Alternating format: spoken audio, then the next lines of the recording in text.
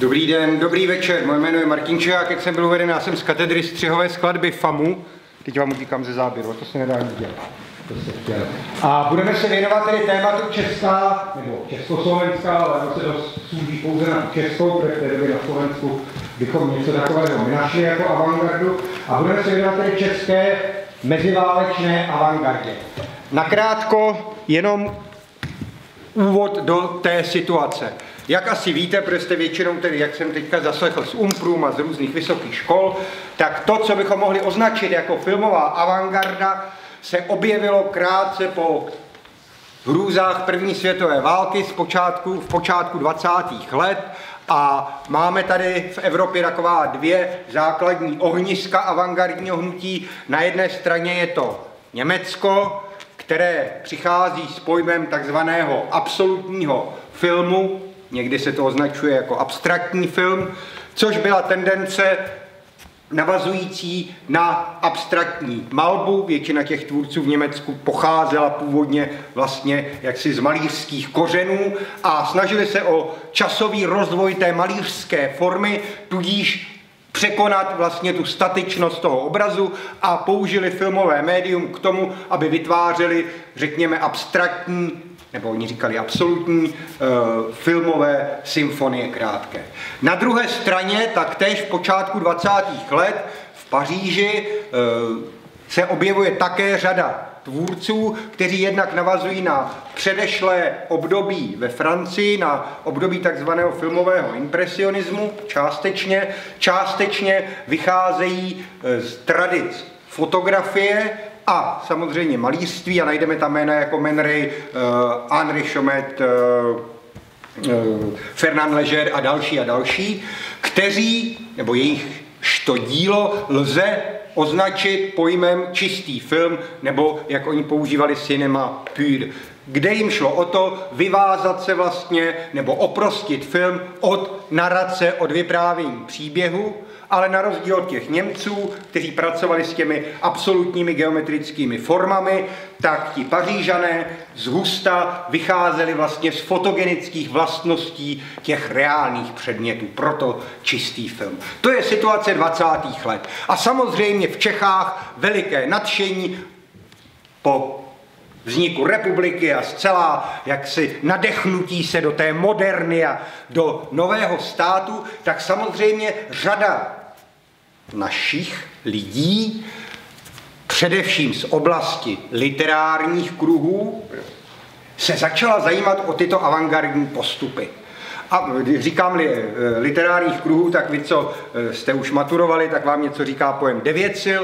Takže zejména kolem devět silu byla řada tvůrců, které znáte, učili jste se o nich, eh, Nezval, Seifert, Halas, další, další, Jiří Voskovec a další a další, kteří měli obrovský zájem a fascinoval je tato filmová avantgarda. Leč fascinování tímto toliko se věnovali posedávání po různých hospůdkách, kavárnách a sepisováním, cože by teda za úžasné a avantgardní a neotřelé filmy, které by vytřely zrak diváctvu, mohli učinit. Avšak všichni tito chlapci z Devěcilu byli naprosto uh, neschopní vzít do ruky kameru. Údajně se tvrdí, že snad v Devěcilu byl pouze jediný člověk, který dokázal manipulovat s fotoaparátem. Ano? Takže eh, tady v tom těch 20. let, kdy to bujelo v té Francii a i v tom Německu, tak tady to bujelo, ale bujelo to toliko na papíře, jako jakési plány, které nikdy nebyly realizovány a protože to by bylo takový jako špatný, abychom si řekli, no tak tady nic nebylo a my jsme jako nic nedělali. Takže v České, tak se toto období těch 20. Eh, let říká, že v těch Čechách bylo jako velmi, ta avantgarda měla specifickou podobu, eh, nebyla, ale jako měla specifickou podobu ve formě takzvaných filmových libret filmová libreta. Oni to tak sami nazývali filmová libreta. Existuje e, kniha od paní Viktorie Hradské někdy ze 70. let, eh, která je věnována avantgarda a tuším filmová libreta se to jmenuje, teď mi to vypadlo, kterou si můžete najít a kde jsou uvedeny tyto jejich texty, tyto zámysly k realizaci. Nicméně většina těchto jejich filmových libret stejně nějakým způsobem vycházela vlastně z tradic, řekněme i poetismu, nebo později potom i surrealismu a tak dále a vlastně byla položena stále to své těžiště v tom literárním uvažování. Takže 20. léta jsme avantgardu odbyli zjednodušeně, protože tady vlastně jakoby ne, že nebylo nic, ale byly filmo, byla filmová libreta. To je české specifikum. Změna nastává vlastně s příchodem, řekněme, nové generace, o něco malinko mladší, ale ne zase tolik, kteří nejsou už odkojeni nebo vkořenění v, té, v těch kruzích literárních či divadelních, ale kteří vycházejí z fotografie, tedy z moderní fotografie. A jednou z těch vlastně zakladatelských a základních osobností našeho avantgardního filmu, jež byl také tvůrcem prvního českého avantgardního filmu Bezúčelná procházka, je Alexander Hackenschmidt. Alexander Hackenschmidt. Alexander Hackenschmidt, mám to, napíšu to, protože to jméno je třeba, abyste si zapamatovali. Alexander Hackenschmidt. Tak, Alexander Hackenschmidt, základní. Jinak 1907. Tak, Alexander Hackenschmidt eh, studoval architekturu, eh, zajímal se o fotografii, psal eh, drobné kritiky, a v roce 1929 navštívil významnou výstavu, která se tehdy konala ve Stuttgartu, Foto und Film Ausstellung, tedy výstava foto a filmu, kde měl možnost se seznámit právě s těmi soudobými evropskými avantgardními filmy a to ji přivedlo na myšlenku, eh, že tedy by také sám realizoval svůj film. Samozřejmě na za vlastní náklady, bez nějaké finanční podpory, čili v podstatě jedná se o, mohli bychom použít ten termín a ještě se k tomu termínu vrátíme, vlastně amatérský film. Půjčil si kameru od svého e, kamaráda a společně s jiným svým bývalým spolužákem z gymnázia, Bedřichem Votýpkou, se vydal na bezúčelnou procházku na okraj Prahy Karlín Libeň, kde natočil tento film, který je vlastně e, bez děje. Ano, je tam postava, která jde, nastoupí do tramvaje, jde tramvají a zase dojde na okraj města a vrací se zpátky do města. Ale o ten děj nejde, protože to, co Hackenschmida zajímá jakožto fotografa a tady tedy filmaře, je, nebo jsou možnosti a vlastnosti právě toho fotografického média. Jakési rytmické členění pomocí navracejících se záběrů, odrazů na vodě. Vůbec ten princip toho odrazu, to znamená realita sledovaná přímo kamerou a odraz té reality na vodě je jedním nebo na hladině Vltavy, dneska už zasypaného e, ramena u Rohanského ostrovu, tak právě tyto reflexy, tato dvojitost mezi obrazem reality a jeho reflexí je jedním z takových vlastně dominantních témat. A to se projevuje i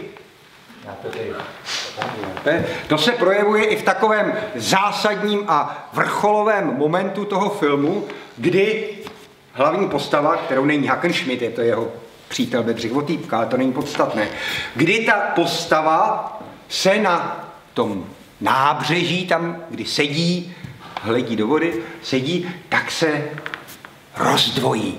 Ano? A vy jste si to zapamatovali, jinak si to nezapamatujete. Budete říkat, co byla bezúčelná procházka. On tam někde chodil. Ale jo, vy si máte, tady, jo, rozdvojení postavy. To je strašně důležité, protože e, není to jenom takhle mechanické, ale právě všímejte si, jak to rozdvojení postavy je uděláno. On tam ta postava, ten Bedřich Votýpka odchází a vlastně bez jakéhokoliv střihu ta kamera švenkuje zpátky k tomu místu, kde seděl, i hle, on tam sedí. No jasně, že to musel oběhnout čo, zadem, aby tam byl dřív, než on tam došvenkuje. Ale pak následuje záběr, protizáběr, kdy ona, ta postava, Bedřich Otýpka, hledí na sebe odcházejícího, čili vlastně využívá, a to je strašně důležité, možnosti, zcela specifických možností filmu, a to je filmové montáže, filmové skladby, k tomu, aby vlastně vytvořil realitu, která eh, v tom vnějším světě není, že tam se jako běžně nerozdvojujeme. Jo? Ale je to jeden právě z těch motivů, který je jakoby vyvrcholení toho, co je celá, cel, celá jakoby řada, jak jsem už říkal, toho vztahu mezi realitou, obrazem reality a potažmo obrazem reality a tím reflexem na, eh, na vodní hladinu. Eh, abychom si ještě něco charakterizovali více k tomu, k tomu Hakmišmídovi, jenom krátce, tak eh, přečtu citaci, která charakterizuje Hakmišmidovu práci od jiného významného a vlastně současníka Hakmišmidova, filmového tvůrce a teoretika, o němž tady bude ještě několikrát řeč a kterého tady budu vzpomínat, a tím je Jan Kučera. Ano. Jan Kučera charakterizuje vlastně tu specifičnost Hackenschmidovy tvorby následujícími slovy. Hackenschmidt právě proto, že byl pronikavě vidoucím fotografem a architektem, nedával se jako filmař lacině strhnout jen vnější pohyblivostí věcí. Snažil se rozluštit podmínku jejich trvalé existence. Neviditelný, nicméně reálný vnitřní pohyb skutečnosti. Ono dynamické vnitřní napětí. Avšak síla Hackenschmidových věcí není omezena jen na vnitřní skladbu záběru, to je na kompozici. Každý záběr, který natočí, je současně ustrojen tak, aby se mohl vázat s ostatními záběry, předchozími i následujícími. Je řešen tak, aby jeho úplná hodnota vynikla teprve ve sloučení s jinými záběry. Jinak řečeno, pokračuje Kučera, Hackenschmidt měl odevždy vrozenou schopnost natáčet záběry skladebně. Skladebnost již obdařuje své záběry již při natáčení, je tak přesná, že se musí prosadit v každém skladebném procesu, ať ho provádí kterýkoliv střihač. Takže tolik aspoň krátce tady jedna z citací Jana Kučery a o Alexandru Haklišmidovi si ještě něco více povíme po projekci tady bezúčelné procházky. Jinak ten, ten, to naše dnešní setkání bude probíhat tak, že to už jste pochopili, že já budu mluvit, pak budou vždycky film a mezi filmama zase budu mluvit. Jo? Takže takovýhle, abyste se natempovali, že to nebude tak, že já skončím mluvit, se zhasne a vy budete spát. Ne, nebudete spát, zase se rozsvítí a zase budu mluvit. Takže já myslím, že můžeme teďka poprosím o bezúčelnou procházku z roku 1930, která je nemá, 8 minut od Alexandra Haknšmida. Haknšmida.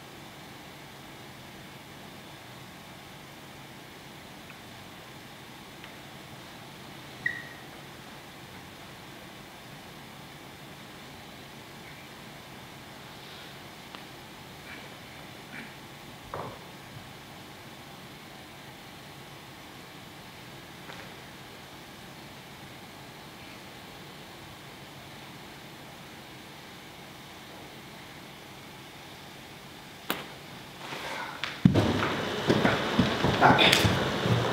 Ne, to nemusí zavírat, to nemusí, proč to zavírat?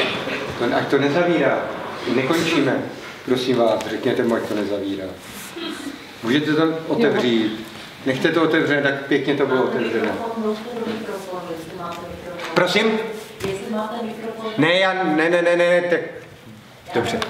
Ne, nemusíte tam běhat. Tak... Ona už tam byla. Už, to, už, už tam došla, eh, paní Buchova, už to je to zařízené. Dobře, pardon. Tak možná, že na poprvé, eh, já jsem taky, když jsem viděl poprvé eh, bezúčelnou procházku, tak jo, jo, jo. Je to film, který nedává na odiv nějakou svoji extravaganci, takže Trvá to nějaký čas, než objevíte jeho krásu a jeho hodnotu, takže pokud na poprvé jste nebyli třeba úplně jako u vytržení, tak si z toho nic nedělejte, nemyslete si, že jste nějak poškození, to jsme ostatně všichni nějakým způsobem, ale snažte se přijít třeba někdy zase příště, až se bude bezúčelná procházka promítat a postupně dalším a dalším shlédnutím tohohle filmu zjistíte právě tu jedinečnost a pokud si přečtete i něco o filmu či o dobovém kontextu, tak zjistíte, že třeba, jenom poznámka, jedna ze zvláštností tady té bezúčelné procházky je minimálně v tom evropském kontextu v tom, že zatímco v té době, v roce 27 vzniká v Německu celovečerní dokument Berlín, symfonie velkoměsta,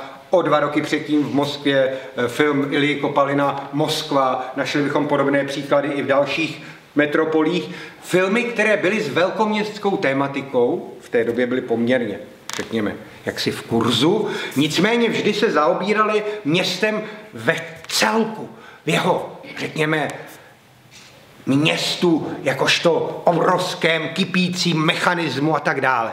A právě jedinečnost třeba toho Haknešmida je v tom, že najednou celé to město jakoby subjektivizuje, že se zaobírá něčím, co je vlastně téměř jakoby marginální, nějaký okraj města, ani tam vlastně není nějaká sociální problematika, jsou tam takový špinavý ulice, čili najednou to, co u těch ostatních nebylo dominantní, tak pro něj je strašně důležitý, jak říkám, ta subjektivizace a zároveň vlastně hledání nějakých estetických hodnot i v tom, co jinak zůstávalo stranou těch, eh, těch filmařů.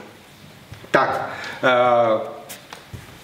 Alexander Hackenschmidt uh, posléze ještě po filmu Na Pražském hradě, který realizoval, tak a Spolupracoval také například jako střihač na vynikajícím českém filmu Karola Plicky, Karola, tedy československém, Zem zpěva a tak dále a tak dále. V, zhruba kolem roku 34 dostal nabídku spolu s dalšími mladými tvůrci odejít do Zlína, kde Baťa založil filmové ateliéry a celý vlastně filmový podnik s cílem aby pro něho vytvářeli reklamní filmy, eh, propagační filmy, případně instruktážní filmy pro dělníky a pro to, jak manipulovat se stroji a tak dále. A řada tvůrců, mezi nimi Alexander Hackenschmidt, odešli do Zlína, kde vlastně v, druho, v druhé půli eh, 30. let byli činnými. A my se tady ukážeme, tak, ale ještě než si ukážeme, tak uh, mohlo by se nám zdát na první pohled, aha, tak on začíná jako avantgardista a teď jako se nechá najmout tadyhle nějakým jako buržoustem a za mrzký peníz odchází do Zlína. No, mrzký peníz, ne úplně mrzký, ale musíme si uvědomit dvě věci. Za prvé, hmm, ta, to pojetí toho, řekněme, té, eh, té avantgardy, tak jak bylo chápáno v tom Německu nebo i v té Francii, jako nějaká věc, která byla vlastně samostatná, která byla svým způsobem jakoby exkluzivní pro určitý toliko publikum, tak tady byla ta tendence, a obzvlášť i u Hackenschmida, eh, nebýt takhle jakoby uzavřený ale výjít do širších, oslovit více lidí. Sam uh, Hackenschmidt eh, v roce 1930 uh, eh, v časopise Studio uh, vydal takový uh, text, asi jeden z nejvýznamnějších jeho textů, který se jmenuje Nezávislý film světové hnutí. Ten, a zavádí pojem nezávislý film, což tehdy bylo úplně novum. Nemá to nic, jak uslyšíte, do činění s tím, jak je tento pojem dnes užíván například v americké kinematografii, kde to je stejně jak si poplatník Hollywoodu jenom v převlečeném kabátě a tak dále, že stejná šelma, akorát prostě pod jiným jménem. Tak eh, poslyšme, jak, co říká o tom pojmu nezávislý film. Nezávislý film chce být jedním ze způsobů projevu svobodného ducha, a to ve všech oborech, jich činnost podaří se filmově zaznamenati vedle těch, jímž může film být přímo výtvarným materiálem. Tak pojem nezávislého filmu obsahuje mnohem více než pojem filmové avantgardy, jež byla dosud známa jako nejmladší a nejsvobodnější větev filmového tvoření. Filmová avantgarda to znamenalo rizí filmové umění pro filmové profesionály a konzervativce a nevědomé obecenstvo, to byl však bláznivý extrém. Ovšem na, na rozdíl od filmová avantgarda, to znamená rizí filmové umění, na rozdíl od zaobleného, nalíčeného a měkce fotografovaného umění obchodního proč řadíti pokus o rizí filmové umění jinam, než dokonalý film vědecký, dokonalý filmový cestopis nebo dokonalý film propagační? Byli kterýkoliv z nich zpracován s porozuměním pro potřeby a možnosti filmové techniky, aby tak s jejich úplným využitím nejlépe vyhověl svému účelu a bez omezení tvůrčí vůle autora, pak je to dobrý film. Jo, čili vidíme, že tady to, to, to pojetí vlastně to, toho nezávislého filmu, tak jak ho razí Hackenschmidt, je mnohem širší. On ještě ten článek uzavírá, eh, jenom kratičké dvě věty. Nezávislý film nevyhlašuje boj proti filmovému průmyslu. Nezávislý film chce pracovat na polích průmyslem opuštěných a taky jej doplňovat. Nezávislý film má ukázat i průmyslu nový, lepší způsob práce. Sociální a ideová reforma filmového průmyslu je nejvyšším cílem práce nezávislého filmu. Nádherná myšlenka, že? nádherná idea, bohužel víme, jak to je dnes, ale v té polovině 30. let právě tady s, tou, s tím vlastně nádherným idealistickým pojetím odcházíte do Zlína a tam se podíjí na řadě propagačních, instruktážních, cestopisů a tak dále a tak dále. A v té době také si ukážeme vlastně nejvýznamnější nebo takový nejznámější film z té produkce té baťovské dílny, když to tak řeknu, a to je filmová reklama Silnice zpívá. Na ní se podílá řada autorů, vedle Hackenschmida, Elmar Kloss, Jan Lukas a další a další. A představuje to vlastně jedinečnou, jedinečný příklad moderně pojaté reklamy, která na rozdíl, jistě má tam nějakou linku dějou, to uvidíte, ale která tehdy ještě eh, získala řadu ocenění i v mezinárodním měřítku, tuším eh, na výstavě v Paříži byla oceněna v Benátkách a tak dále, jako nej, nejlepší a nejmodernější tehdejší vlastně filmová reklama, protože, a to jsme u toho, snaží se ne vyprávět tak, jak kdybychom si pustili tehdejší reklamy nějaké, které vyprávěly nějaký jako příběh, který pak na konci se objeví ten produkt. Tak tady již od samého začátku je jasné, že to je reklama, že to není tradiční hraný film. Už od počátku víme, že asi půjde o pneumatiku. Ale to, jakým způsobem je celý ten korpus toho filmu vystavěn, vyskládán a jakým způsobem je pracováno nejen s obrazovou stránkou, ale se zvukem, kterou tady tvoří píseň, které slyšíme vlastně onu personifikovanou pneumatiku. Ano? Čili celá tahle věc, abychom si to uvědomili, znovu to opakuji a nezapomínejme na to. Protože to je jedna z typických věcí pro českou avantgardu právě těch 30.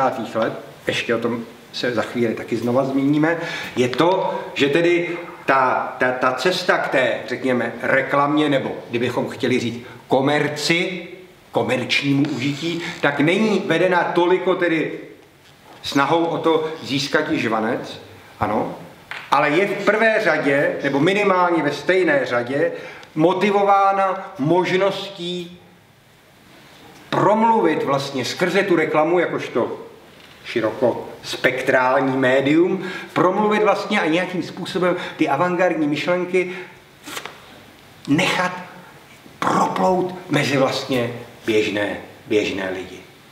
A než si to pustíme, tak ještě doplníme jednu citaci z Jana Kučery, který v té době, lze to najít v takové knize eh, Antologie českého myšlení o filmu, která vyšla, občas je tady ještě k dostání, tak tam je taky stať Jana Kučery, eh, reklama a film, kde právě rozebírá to, že ta reklama oproti tomu klasickému hranému filmu má svá specifika a umožňuje vlastně mnohem svobodnější vyjádření a mnohem svobodnější využití těch specificky filmových výrazových prostředků, rakurzu, kamery, montáže a tak dále a tak dále, než tradiční film.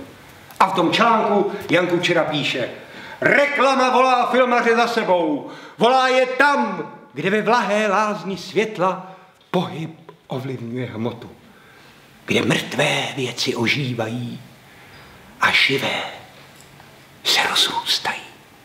Takže poprosíme film ze Zlínského studia Aleksandr Hackenschmidt a jeho spolupracovníci Silnice zpívá.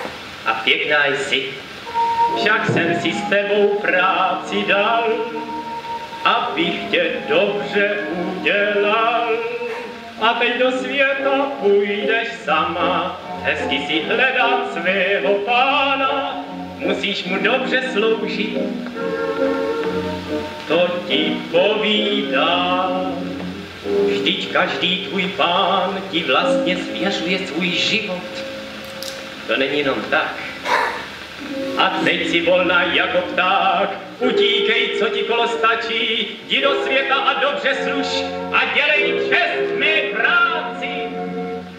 Tak už jedu světem sama, všude hledám svého pána, ten, kdo si mě koupí, nikdy neprohloupí.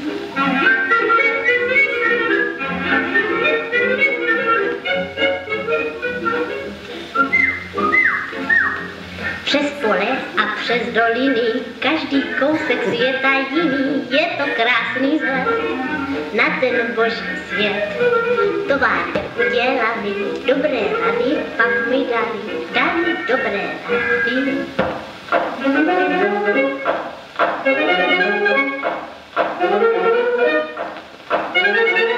No tak, už jsem tady.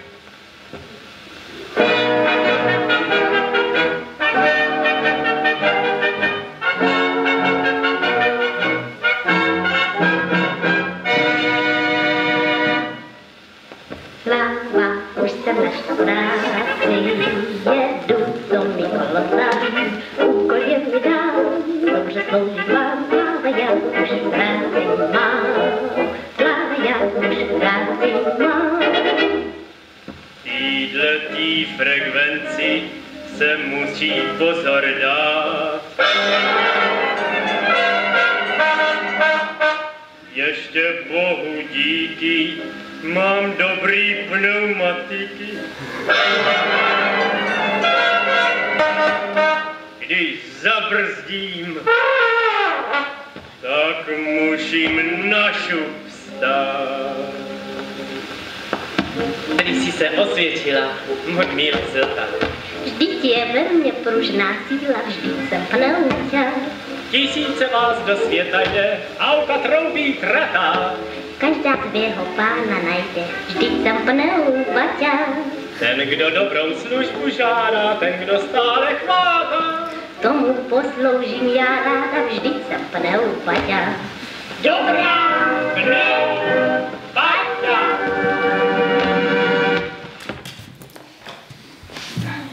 Tak dobrá pneubaťa, že jo? To je dobrý. Tak. Eh, Alexandr Hakošmit posléze ještě eh, v roce 38 natočil spolu s eh, americkým levicově orientovaným producentem a režisérem Herbertem Kleinem film o vlastně situaci v česko-německém pohraničí těsně před Mnichovským, před Mnichovskou zradou. Eh, Ten film dostal potom název Krize, kriz, Crisis, tedy byl v angličtině, a posléze tedy odchází do emigrace, Nejprve se trvává nějakou dobu ve Francii, kde se ještě podílí spolu s Herbertem Kleinem na dalším dokumentu Světla zhasla v Evropě a posléze přechází do Spojených států, kde už zůstává natrvalo. My se ještě potom k Alexandru Hackenschmidtovi vrátíme a teď přejdeme k další osobnosti nebo k dalšímu, no, k další osobnosti české avantgardy. Takhle, abychom my tady samozřejmě, toto není vyčerpávající přednáška o všem, co bylo ve filmové avantgardě české vykonáno, ale spíš jsem se rozhodl vám ukázat jako mnohostranost a různost těch přístupů. Jo? Takže tak to berte, abyste vlastně si uvědomili, jaké různé přístupy tematické, stylotvorné a tak dále tady najdeme.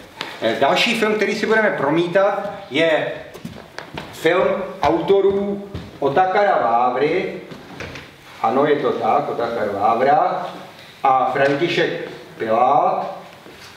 A film se jmenuje Světlo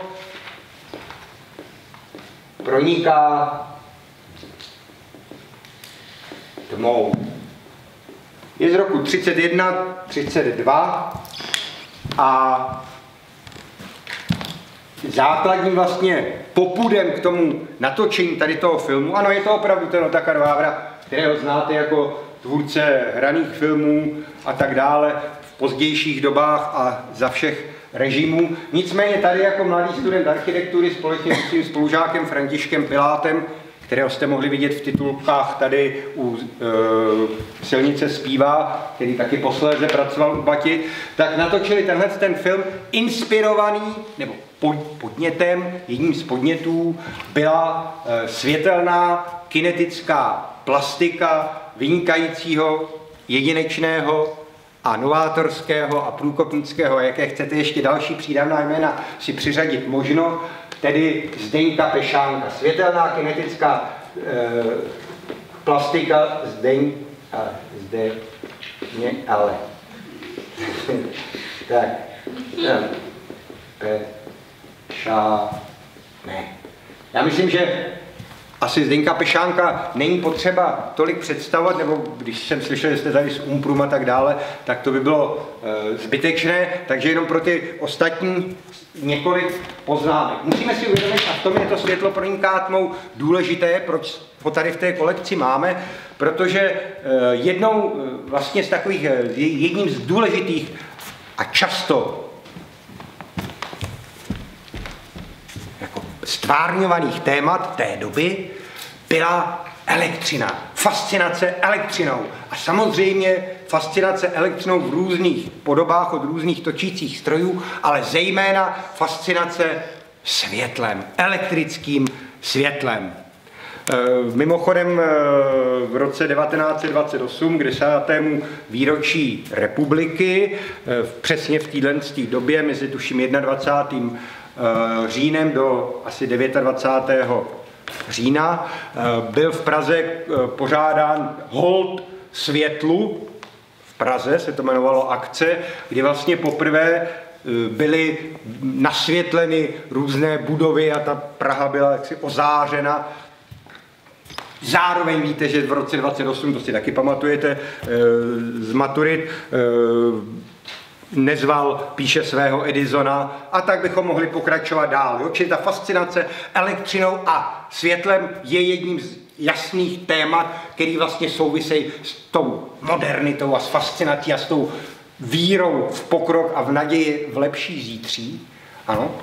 A příkladem je tedy i tenhle ten film Světlo proniká tmou, velice kratičký, zhruba čtyřminutový film, který, jak jsem už řekl, natočili z popudu toho, že Zdeněk Pešánek dostal tehdy zakázku, aby vytvořil světelnou kinetickou plastiku pro eh, Edisonovu transformační stanici, která do dneška, ta budova je v Jindřišské ulici, je to ten konstruktivistický dům, takhle tam na rohu za kostelem.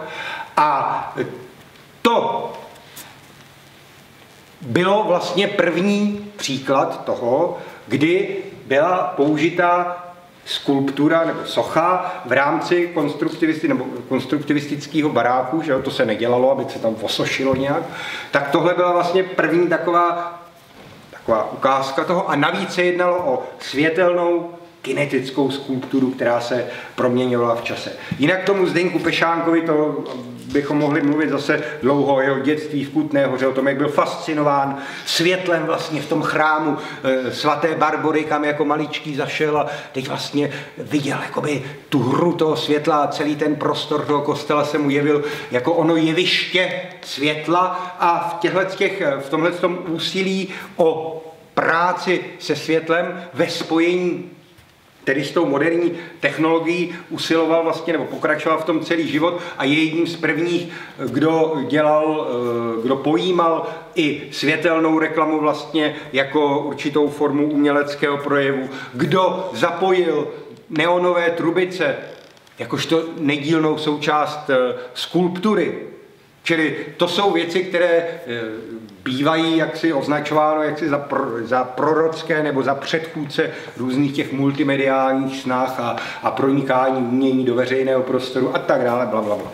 Jo? Čili ta, ta, ta, ta jedinečnost toho, té Pešánkovy tvorby, eh, on také, kromě jiného, to tam taky bude krátký, jenom záběr na klaviaturu, on se strojil například takzvaný, nebo několik jich se strojil, eh, spektrofon, čili vlastně klaviaturu, která byla spojena, řekněme, s nějakými světelnými zdroji, čili co, si, co bychom nazvali jako e, světelnou hudbu, zaobíral se též problémy synestezie a tak dál a tak dál. Takže Zdeněk Pešánek a my máme možnost se teďka podívat na film Otakara Vávry a Františka Piláta Světlo proniká Němý čtyři minutky.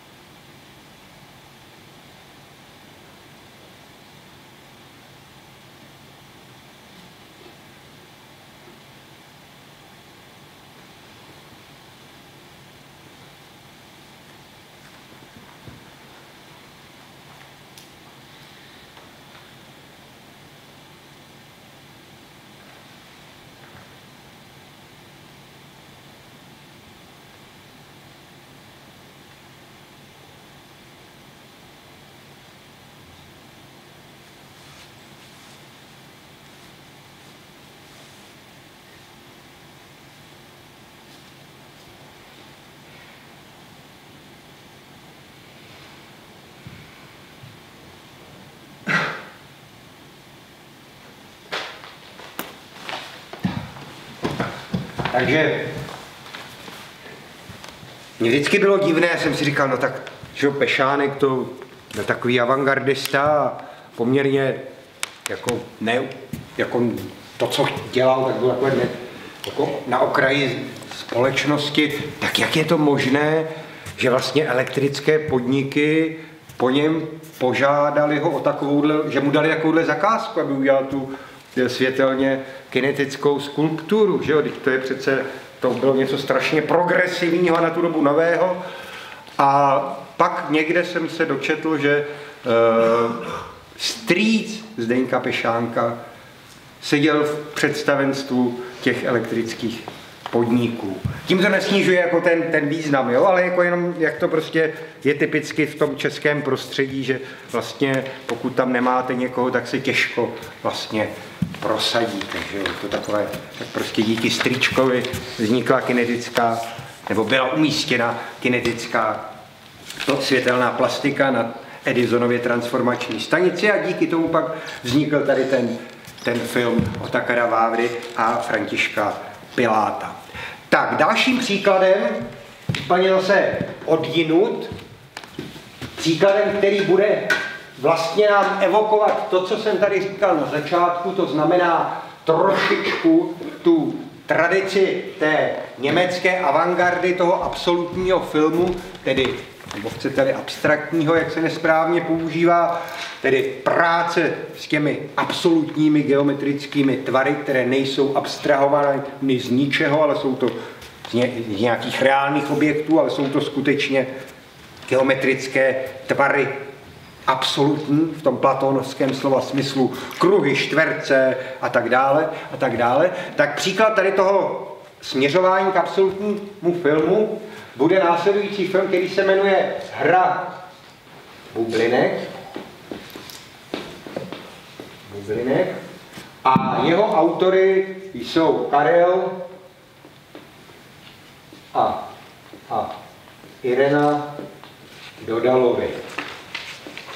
Dodalovi. Tak, Karel Dodal je vlastně takovou zakladatelskou osobností českého řekněme, animovaného filmu. Eh, existuje o něm a o jeho ženě druhé Ireně, eh, se kterou vlastně vytvořil i tento film, byť ona spíš se zaobírala právě těmi obchodními styky a přípravou těch, řekněme, námětů, schánění kontaktů a on vlastně byl ten výkonný tvůrce, který to tedy Eh, vymyslel, namaloval a spolu se svou první ženou Hermínou Týlovou doanimovali. Takže eh, Hra bublinek, eh, příklad tedy tohohle z toho absolutního filmu, ale když jsem tady už říkal, hledala kontakty, ta Irena a tak dále, jedná se opět o příklad reklamy. Reklamy, uvidíte na co, to nebudu prozrazovat. Jinak oni podstatě stejný materiál, který tady uvidíme v trošku delší verzi, vytvořili Dodalovi již zhruba asi rok předtím a dostal název Fantasy Erotic. Měl úspěch v Paříži na nějaké té výstavě v roce 37 a pak vlastně část toho filmu použili do tohoto reklamního snímku. Vřele doporučuji tady Národní filmový archiv a je to tady v prodeji, tady já dělám, jako ne, nedělám propagaci, ale opravdu je to výborná kniha. Paní eh, Eva Strusková, jedna z vlastně asi taková nejvýznamnější současná historička filmu, napsala zhruba před pěti lety, nebo vydala eh, kniha, která se jmenuje Dodalovi, je to velmi tlustá kniha, ale doporučuju, protože ještě je v tom vložený DVDčko. Jo? Takže jako nekupujete jenom knížku, ale máte tam spoustu filmů, vlastně všechny filmy manželů Dodalových i věci, které dělal Dodal předtím a které dělal potom v emigraci v Americe a Irena, který dělala e, v Argentíně po druhé světové válce a tak dále. Takže doporučuji a je to vynikající kniha, Dodalovi se jmenuje. A kromě toho, že tam teda e, paní Strusková píše o Dodalových, tak tam jsou i vlastně poměrně rozsáhlý kapitoly o, nebo části věnované kontextu tehdejší filmové tvorby, takže se tam dočtete i právě o silnici zpívá a dalších a dalších e, věcech podrobněji. Tak to pro ty zájemce kniha do Dalovy od paní Struskové a my si pustíme další reklamu z první republiky Hra bubliny.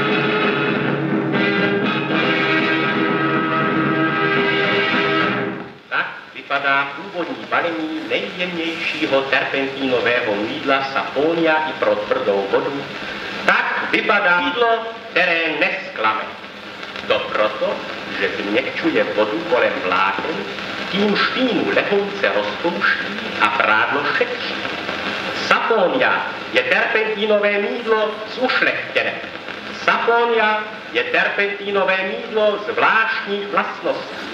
Saponia je terpentínové mídlo i pro tvrdou vodu. Dostanete je vždy a všude. Saponia, ochranná značka šát. Saponia. Tak. tak vidíte, tak jsme si aspoň připomněli tvar Československa, který už vy vlastně neznáte, možná mnozí, takže ten původní. Tak, tolik další reklama a teď, protože vím, že určitě, jak jsem říkal, všichni jsme nějak poškození a vy jste určitě také poškození tím, že vlastně pořád hledáte nějaké příběhy ve filmu. Od malička vás tím prznili vaše rodiče, že vás stavěli před televizor nebo před počítač a pouštili vám různé příběhy, děje, lásky plné příběhy mužů, žen, případně dětí, to je jedno. Ano?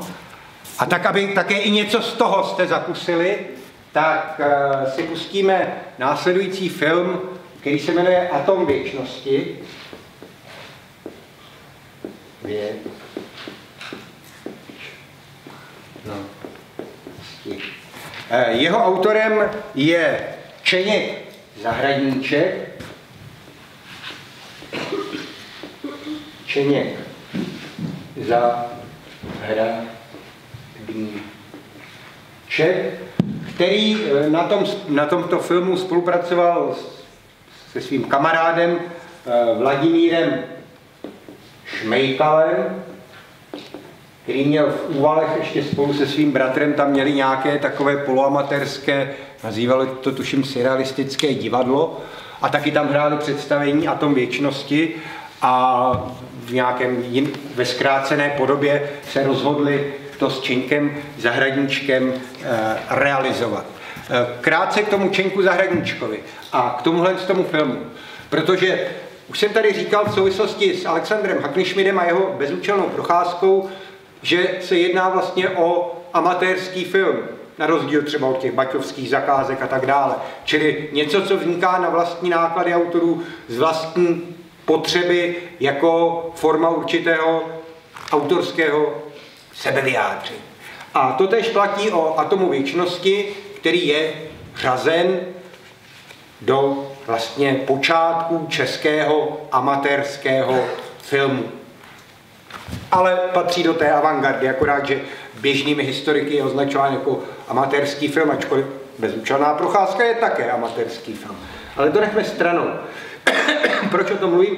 Čeněk Zahradníček začínal jako fotolaborant, a právě e, stál u zrodu českého kinoamatérského hnutí u prvních e, klubů kinoamatérů, které se tady zakládaly kolem roku 32, Paté klub, potom i Český klub kinoamatérů v roce 34-35 a tak dále. A během toho vytvářel, vytvořil zhruba tři filmy, Atom věčnosti, e, Ruce v úterý a Příběh vojáka. Ještě předtím, než začal Eh, spolupracovat s Vladimírem Šmejkalem, tak udělal několik krátkých filmů, z nich jeden já jsem neviděl, nikdo z nás ho neviděl, protože je údajně ztracen, ale jmenoval se, byl to jeden z jeho prvních vlastně zahradničkových filmů, jmenoval se Město, jak ho vidí pes a v tehdejší literatuře eh, nebo v tehdejších článcích československém kinoamatéru, nebo jak se jmenoval ten eh, časopis, eh, je článek o tomto filmu, o město, jak ho vidí pes, a je tam uh, uváděn jako první příklad takzvaného jástevního filmu. Jástevního filmu, neboli, což je tam dovysvětleno, že to je překlad onoho německého ich film, tedy český jástevní film. A údajně podle všeho, i co tedy Činěk Zahradníček potom napsal, vyprávěl a co je i v, té, v, tom krátké, v té krátké notisce, v tom časopise, eh, šlo o to, že sledoval vlastně No, město, jak ho vidí pes, umístil kameru, tehdy maličkou 9,5 mm paté, vlastně do místa, kudy by procházel malý pes. Čili to je na tu dobu vlastně jedinečná skutečnost, že udělal to, to je důležitý, co vlastně ten profesionální filmař s velkou kamerou 35 nemohl nikdy udělat, protože ta byla natolik těžká, že by ji ani neunes. Že jo? Takže, takže tohle jenom k tomu, co udělal vlastně Činěk Zahradníček před uh, atomem věčnosti. Ještě mě napadá, že by bylo možné k tomu atomu věčnosti Nalákal jsem vás na hraný příběh, láska muže, ženy, takže to velmi oceníte, doufám. Pochopíte, že poté, když si vzpomenete, že jsem na začátku mluvil o takové té literárnosti, která vlastně vládla těm 20. letům, těm filmovým libretům, tak eh, lze tady, myslím si, zcela jasně vidět určitou narážku a na ta řekněme, filmová libreta minimálně v tom, že eh, na několika místech tam eh, Šmejkal se zahradníčkem vlastně vizualizují některé slovní řekněme, slovní spojení, čím slovní metafory, čímž docházejí vlastně k tomu, k, té, k takové ironizaci celé té, myslím si, eh, tehdejší kinematografie nebo těch tradic toho, těch filmových libret na straně jedné a tím, jakým způsobem pojednávají ten klasický příběh toho vztahu muže a ženy, tak zároveň je tam cítit jasná ironie vůči tehdejší dominantní kinematografie kinematografii české, která vlastně oplývala různými podobnými selankovitými příběhy o tom, jak holka ke štěstí přišla. Tak, takže tolik aspoň to. Já, ano, ano, ano. A jestli je, abychom nezapomněli na našeho dnešního průvodce Jana Kučeru, tak uh, jedna z důležitých uh, vlastně věcí, já už jsem to mohl říct i dříve, ale platilo by to jak pro Hakenšmida, bude to platit i vlastně pro Šmejkala se zahradníčkem a pro většinu těch tvůrců avantgardních, neboli chceme-li v té době i filmových amatérů, protože v té době ta hranice nebyla nijak přesně vymezená, tak Jan Kučera v jednom ze svých textů, které se jmenuje Slovo k amatérům, napsal, neměli by se pouštět do nápodoby hraných filmů, ale tvořiti si vlastní dramatické formy, založené právě na možnostech a specifikách amatérské kinematografie. No a, a tom věčnosti, byť je hraný, tak myslím, že je jednou z příklad, jedním z příkladů právě hledání takové vlastní dramatické formy. Takže 10 minut a tom věčnosti. Jsme v roce 34, 35 zhruba. No, tak. Můžeme. Můžeme.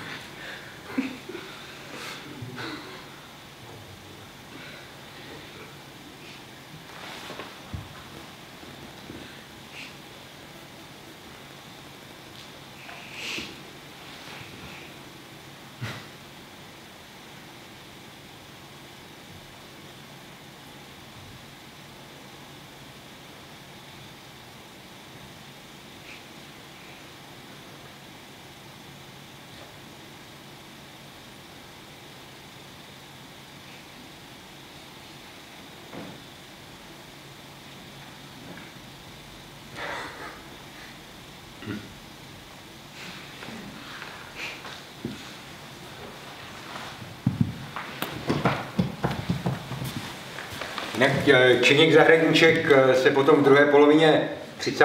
let eh, takzvaně profesionalizoval a byl kameramanem Aktualit, což byl vlastně tehdejší takový spravodajský, vytvářel spravodajské filmy a také dokumenty.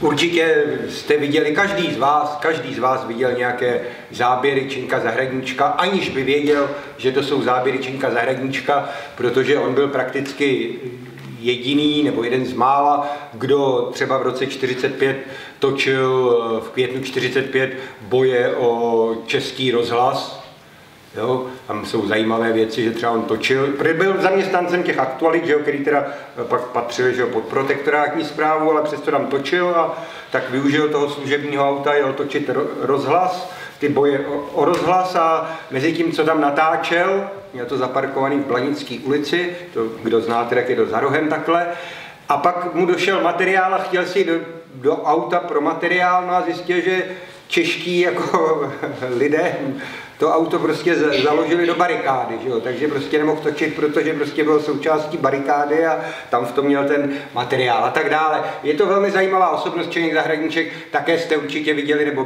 bývá často eh, jeho například i takový ten američan myslím, že se jmenuje Spielberg v tom Schindlerově seznamu e, natočil, že jo, tak tam je taky ta poprava K.H. Franka, ten archivní záběr a to je taky, e, to točil e, Čeněk Zahradníček, aniž by tam byl uveden pochopitelně.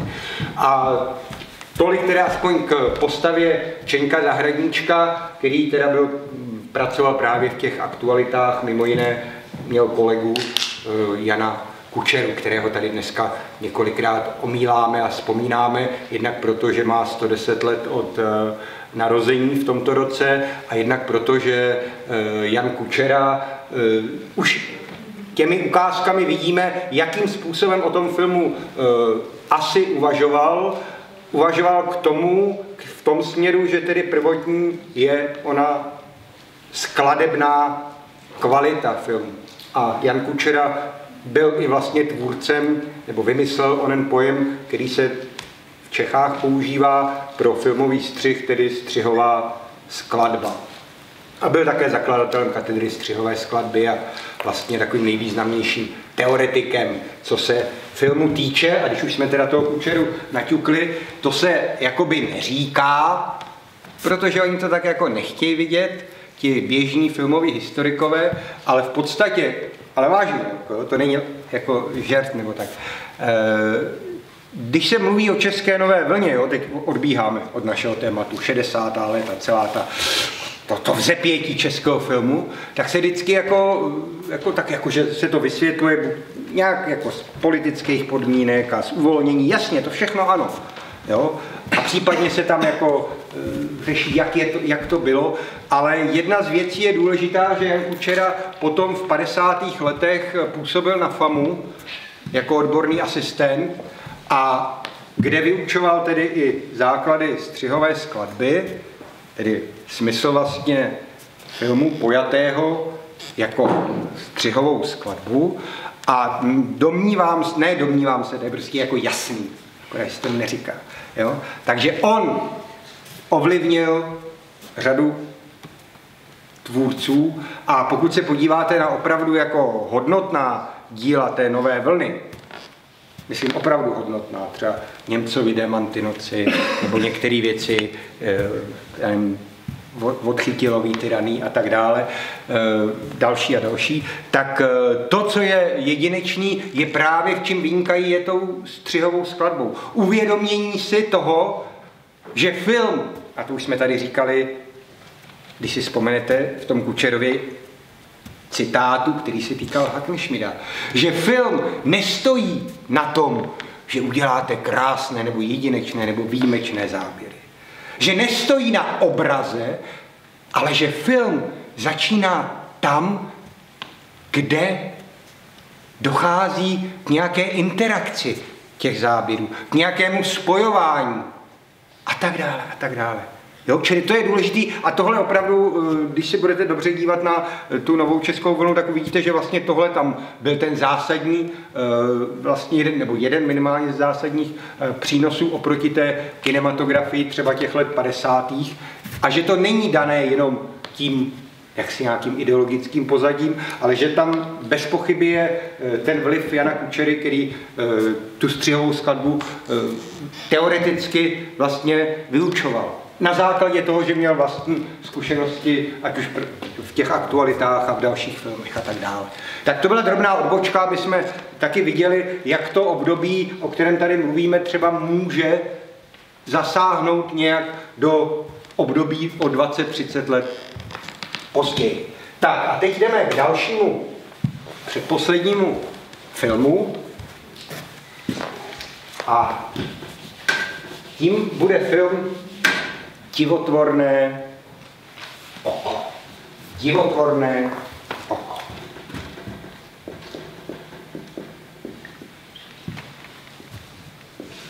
Tak. Divotvorné oko, já jsem tady ještě ukázku. Tady, tady, tady, tady, Divotvorné oko natočil Jiří Lehovec, tady ukazuji knížku, která kdysi vyšla v 70. letech o Jiřím Lehovci, bohužel takhle tenká, a Jiří Lehovec je vlastně jednou ze zakladatelů Jiří, Jiří Lehovec, ač je jednou ze zakladatelských osobností vlastně československého dokumentárního filmu, tak pokud vím, tak mu nebylo věnováno zatím víc než takováhle jedna knížka, to už je hodně dávno, od Antonína Navrátila. Eh, Jiří Lahovec byl tedy, eh, začínal jako fotograf, společně právě s Alexandrem Hakenschmidem a ještě Ladislavem Emilem Berkou pořádali první výstavy moderní fotografie v Aventinské mansardě. Společně s Hakenschmidem Jiří Lehovec organizoval v roce 31 a 32 takzvané týdny avantgardního filmu, kde poprvé bylo možné v Praze vidět nejenom díla, která jsme viděli tady, to znamená bezúčelnou procházku Světlo proniká tmou, ale i díla francouzská, německá, případně i z, ze sovětské avantgardy. Takže eh, Lehovec je minimálně stejně významnou osobností jako Alexander Hackenschmidt, leč Alexander Hackenschmidt posléze díky emigraci, jak o tom budeme mluvit, ještě vlastně vstoupil v širší známost světovou, což Jiřímu Lehovcovi se jako nestalo, protože, protože jeho zájmem v oblasti dokumentu se stalo především, a to je také české specifikum, se stal populárně naučný film. V tom vlastně je to Československo, ta československá avantgarda jedinečná, že vedle třeba toho příklonu k té reklamě, což bychom našli i jinde. Takže jedním vlastně z ohnisek toho zájmu těch avantgardních tvůrců byl právě ten populárně naučený film. Bez pochyby, i když se vám to může zdát na první eh, pohled trošku přiškrcené, tak je tady ta linie, která sahá až vlastně ke Komenskému, jo? k té, těm tradicím názornosti, poslouvnosti a tak dále, které vlastně se v tom filmu uplatní v těch filmech populárně naučných, ale ty populárně naučné filmy Lehovcovi nejsou postaveny jenom na vysvětlujícím komentáři, ale ten komentář má, jako v tomto případě, spíš jakýsi poetický charakter, někdy teďka se vám možná bude zdát už po létech trošičku jakoby trošku toporný, ale ono to patří k tomu, k takovému tomu patosu a no, takovému dobovému tónu. Čili to je jedna věc. A druhá věc, snaží se vždycky v těch, doku, v těch svých populárně naučných filmech, Jiří Lehovec, hledat nějaké jedinečné formy zobrazení. A v případě divotvorného oka bylo jeho cílem vlastně využít makroobjektivu, předsádku, kterou dáte před objektiv, abyste se mohli na ty věci každodenní potřeby dívat co největší blízkosti. Je to věc, se kterou na jednu stranu vlastně v té době, v té polovině 30. let, letech, polovině 30.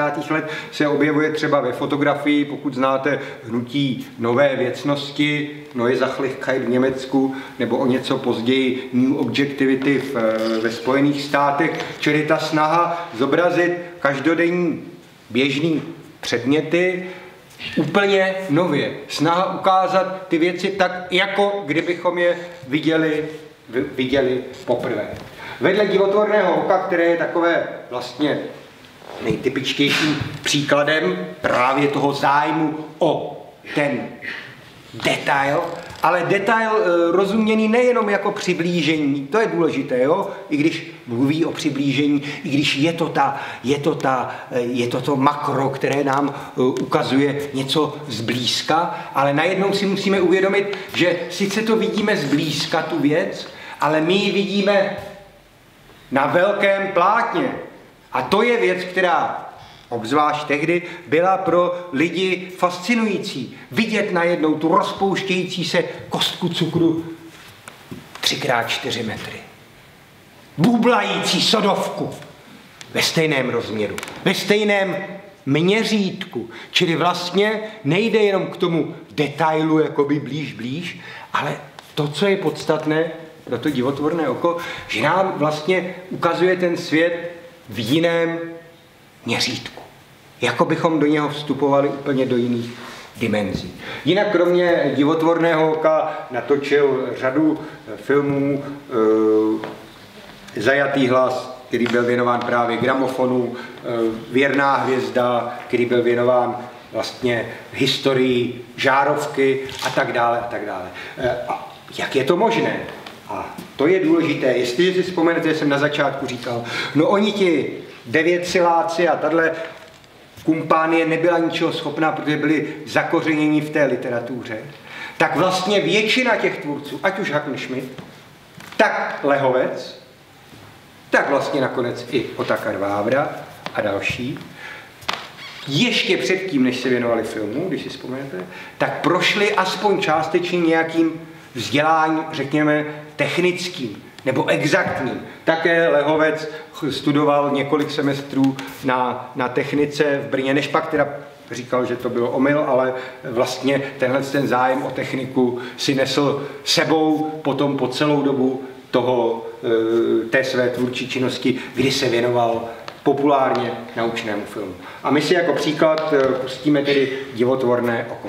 Potom v, po druhé světové válce působil na katedře dokumentární tvorby na FAMu a ještě začátkem 90. let byl, když byla pořádána v Praze v Mánesu tady krátce po revoluci první výstava vlastně českého videoartu, čili už nejsme ve filmu, ale elektronického obrazu, ta výstava se tenkrát jmenovala e, Český obraz elektronický, tak Jiří Lehovec tam byl vlastně jakoby takovým jako čestným členem, protože on to byl, kdo skutečně vždycky hledal to spojení té techniky a poezie, protože pro něho byly tyto dvě věci zcela neoddělitelné. Tak divotvorné oko, prosím.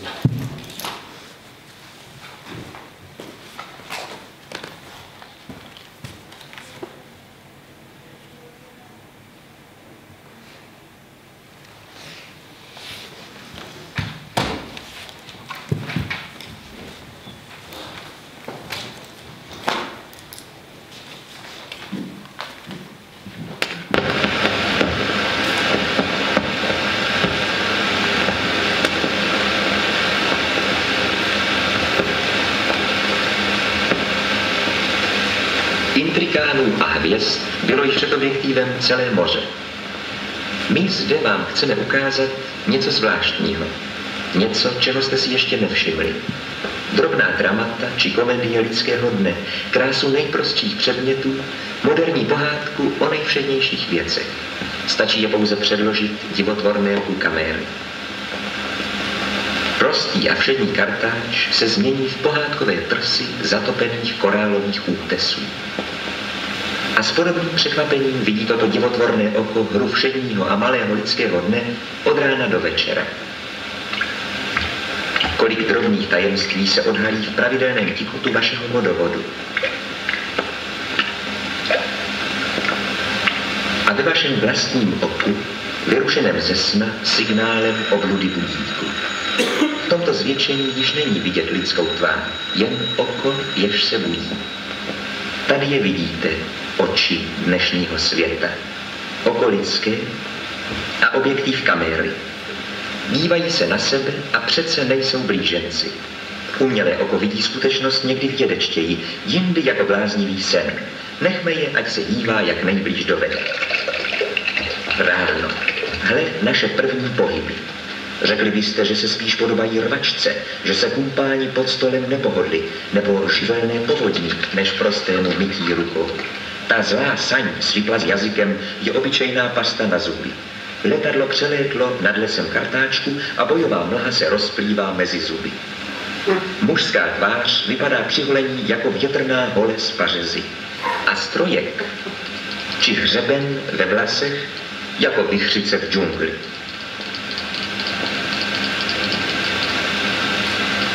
Hle torzo ženy.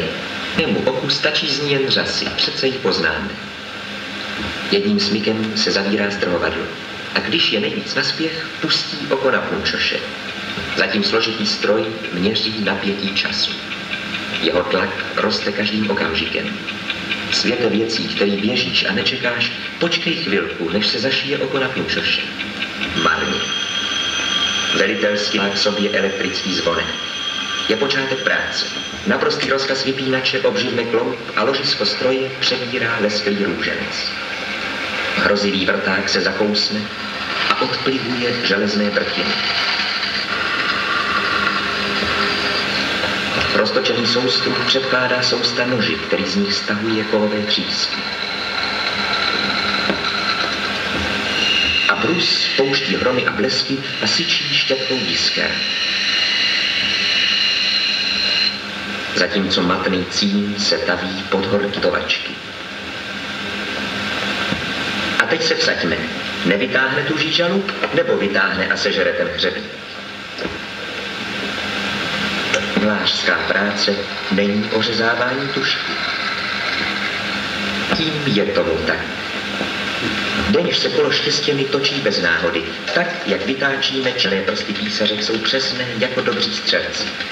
Ani písmeno nemůže uniknout a pole musí být zasaženo. Zatím ani doma pilná ruka nezahájí, a divok nám odhalí hlomozící záhadu šicího stromu a Bujná fantazie dětského zraku, zvyklá na podívanou kouzelného kukátka s barevnými sklíčky, najde ve škole nádlech a čarách železných pilin a skrytého magnetu.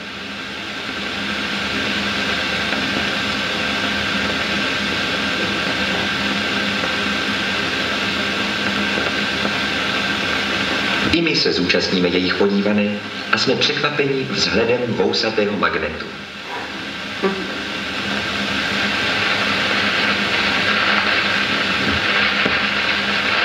Což teprve, když se roztančí sodík nebo draslík, ty dva neposední skřítkové prvních hodin chemii a sehrní v misce vody podařený fotbal jako ve vesmíru. Nebo vzácný broušený achát, jehož stuhlý ornament nám dovede stejně učarovat jako barevné šmouhy nebo sražená špína na vodě, v jejíž pohybech se zdá dřímatí život.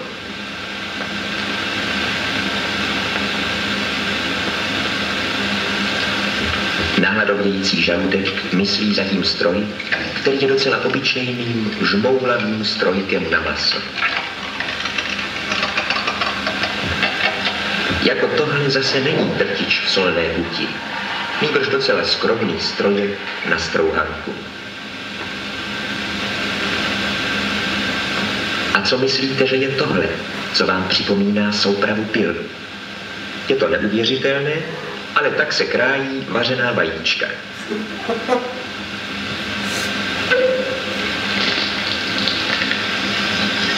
Lázeňské vřídlo? Ale ne. Obyčejná lahev sodovky a v ní bublinky kyseliny, jež startují jako malé balónky k letu do vesmíru. A tyhle scény ze života buněk hrají denně mastná kola ve vaší polévce. Dopřejete-li si černou kávu, pozorujete možná, jak chlev zatekutina v kostce cukru. Ale jistě jste neviděli, jaké drama vzniká mezi částečkami cukrové hmoty.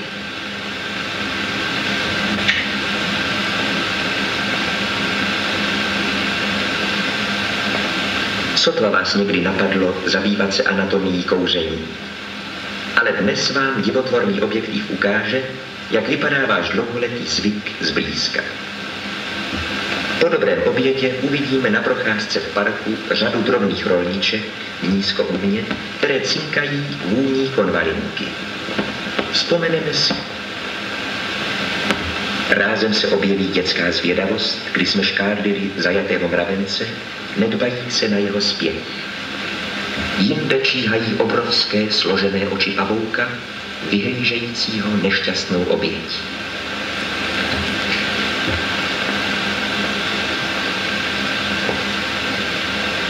Jak jsou krásní a jak nestvůrní tito drobní tvorečky, lupínky hmoty, které žijí a dýchají, proslulé všivodní, Dafnie, potrava rybiček našich akvárií.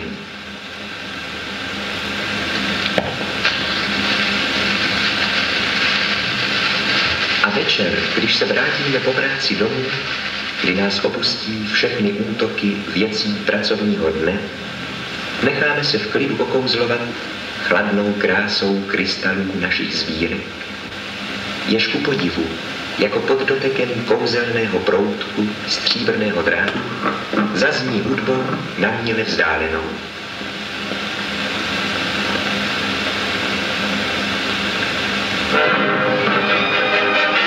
Jsme u velkého divu našich dnů, rádia.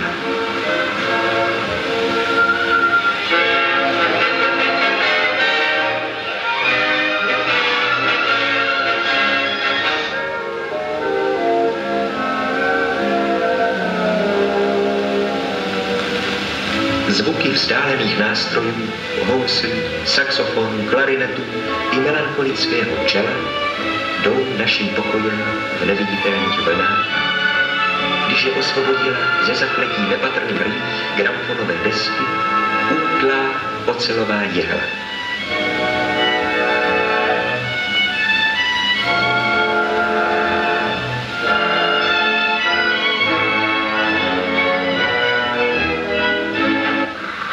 Všechno má svůj konec. Jako došlá deska zašel i čas, kdy si otvírali naše babičky a dědečkové tajuplný amatník a spouštěli cílkavou muziku.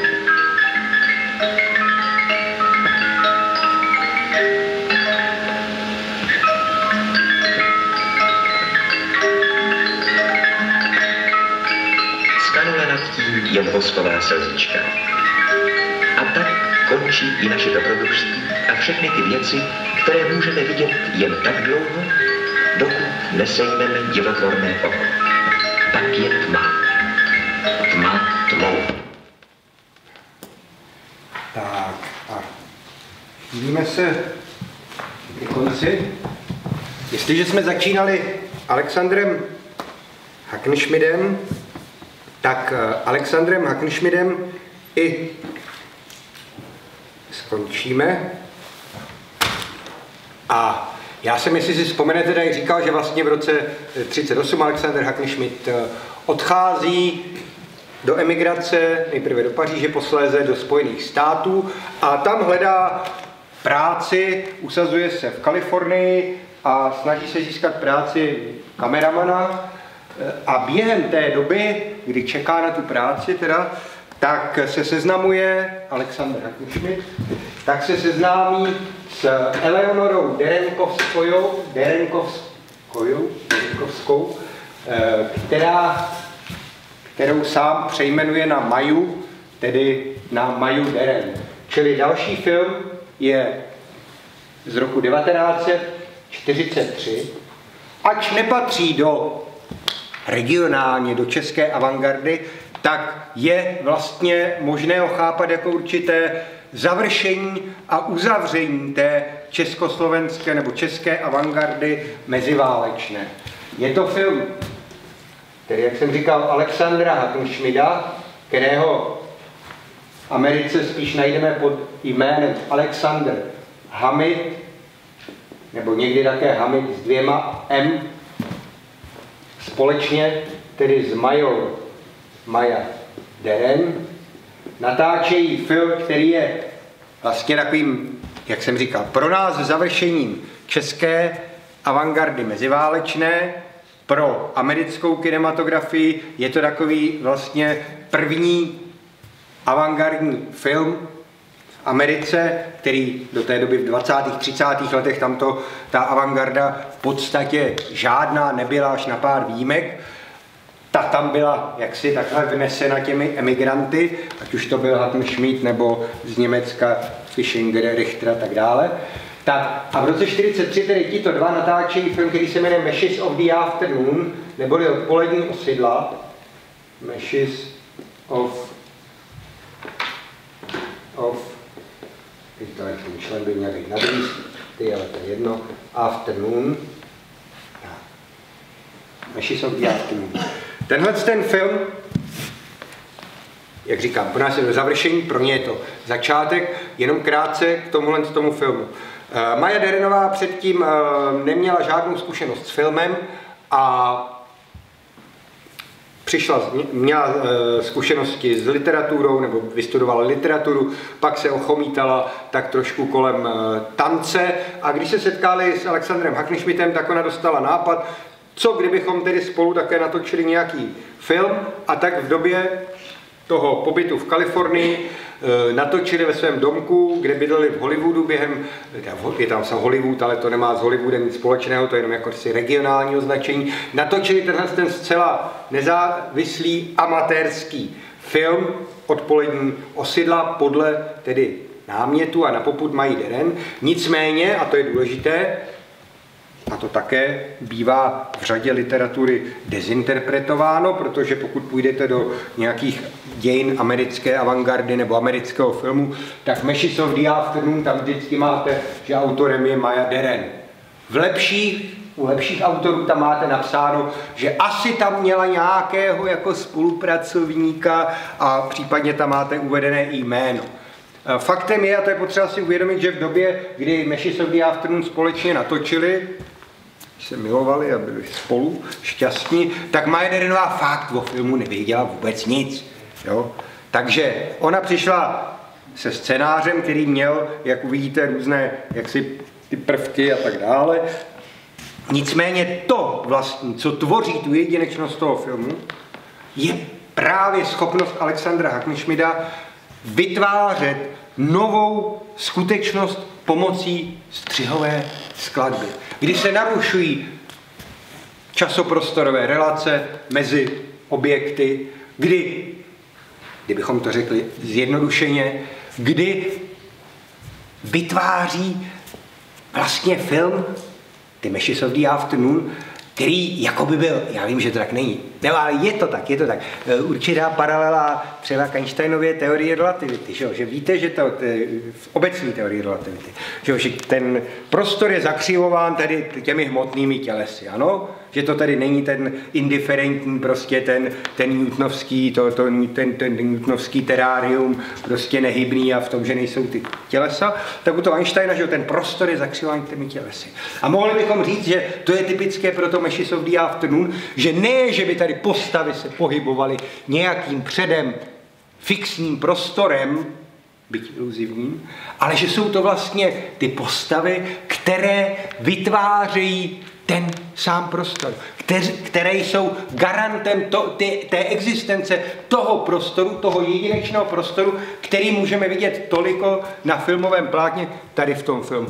Za všechny jmenujeme nejklasičtější scénu, takovou až jako téměř polopatistickou pro tenhle vysvětlení. Je tam scéna, kdy Maja Deren vstává v místnosti a pak sledujeme její nohy, detailu a máme tam jeden krok, dělá na travnatém povrchu. Pohyb kontinuálně pokračuje, v dalším záběru po, píseč, eh, po písečné pláži, po betonovém chodníku a tak dále, zhruba ve čtyřech, pěti různých úzovkách površích neboli prostředích.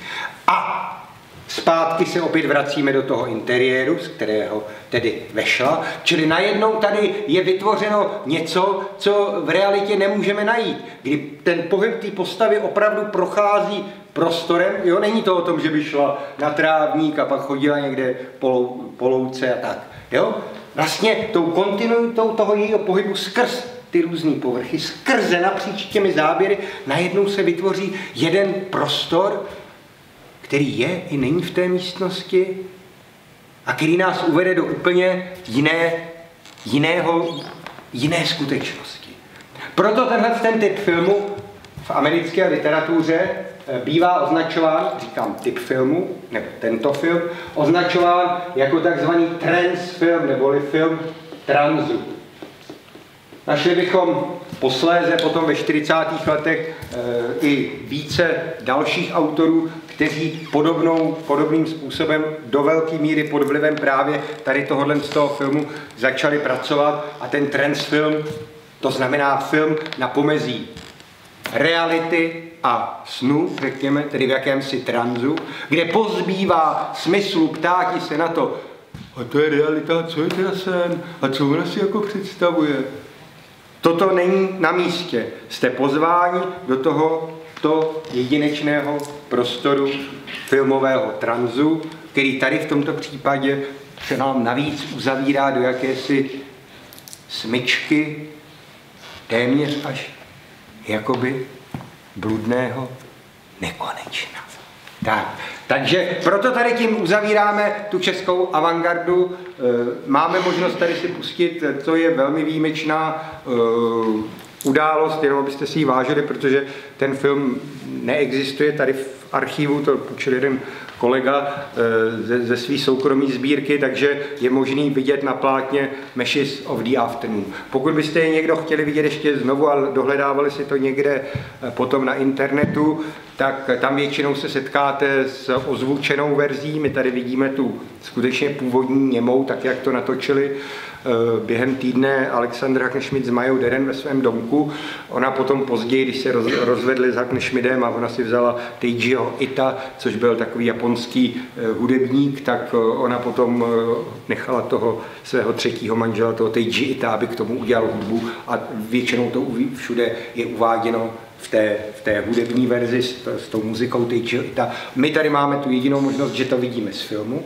Uvidíme to z 16 mm filmu, to znamená z toho filmu, na který to bylo natočené v tom formátu. Jo, to je důležité, když už teda máme tuhle možnost a ještě máme čas, tak si musím dovolit tuhle tu poznámku, abychom si to uvědomovali, tu jedinečnost toho, proč jste sem přišli. No, možná jste sem přišli úplně z nějakého jiného důvodu, ale když už jste tady, tak že máte tu možnost vidět ty filmy z filmu. A film na rozdíl tadyhle od těch různých jako podivných zařízení digitálního světa, ano, má tu věc, že tam máte vlastně světelnou kontinuitu. Ten obraz té reality, která byla před kamerou, vzniká tím, že ta světlocitlivá, nebo řekněme to ještě lépe, erotičtěji, světlochtivá filmová matérie je zasažena světlem a je světlem oplodněna. Po následném vyvolávání v temnotě je z tohoto negativu vyroben světelný otisk. Stále je tam to světlo, ano? Je to tatáž, ten negativ opět otisknut do kopie, kterou máme možnost vidět díky tomu, že skrze ten filmový pás pan promítač vrhá tady na to plátno světlo, kdy tedy vysvětluje tento film. Ano, protože film stojí právě na tom pomezí mezi těmi. To znáte, že se určitě. Osvětlená plocha fotografii. No tak vidím ji jako v osvětleném světle, že jo. Pod, na fotografii neuvidím. Mám osvětlení. A když se díváte na nějaký tady tyhle, ty, tyhle ty věci, že jo, na počítači, tak to jsou zase jako svítící plochy. Ale film? Co to je? No to je přece osvětlená plocha, ale která vysvětluje sama sebe. Ve všech slova smyslech tohoto významu. Takže proto buďte si vědomi té jedinečnosti, té světelné posloupnosti, kterou u každého filmu můžete zažít, protože v tom digitálu to není, že tam je prostě je to převedeno do nul čísel a opět znova genero, generováno a tak dále. Ta roz, je tam přetržena ta kontinuita toho světla. No a tak poprosíme o Meshes of the Afternoon 15 minut jako poslední ukázku. Jinak ještě pro ten transfilm je důležitý a e, typický, že, jak jsem říkal o tom po, pomezí reality a snu, že ti autoři e, jsou natolik svázáni s tím tématem, že si v tom sami hrají. Takže my tady uvidíme Alexandra Hakenschmida a uvidíme tady Maju Derenovou. Tak můžeme.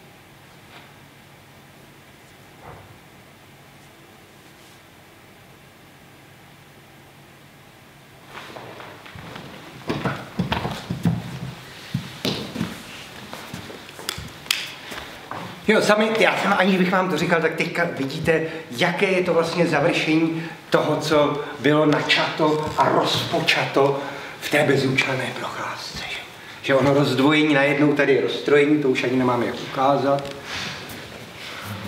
A tak dále, a tak dále. Jo? Takže eh, tolik, eh, děkuji vám za to, že jste přišli. Eh, pokud byste měli nějaké dotazy, tak když tak po skončení, protože my to musíme opustit ten prostor, já tam budu někde ještě venku postávat a pokuřovat. Nicméně na cestu domů nějaké dobré slovo, tak opět zakončíme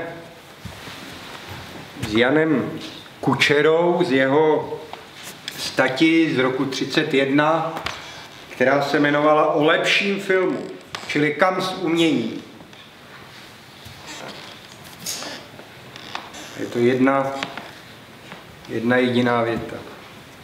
A budiš vás, nech vás provází domů a nejenom nocí, ale i zítřky. Dobře dělati, a dělati stále lépe. O nic více nemá nám jíti. Dobře dělati a dělati stále lépe. Děkuji vám.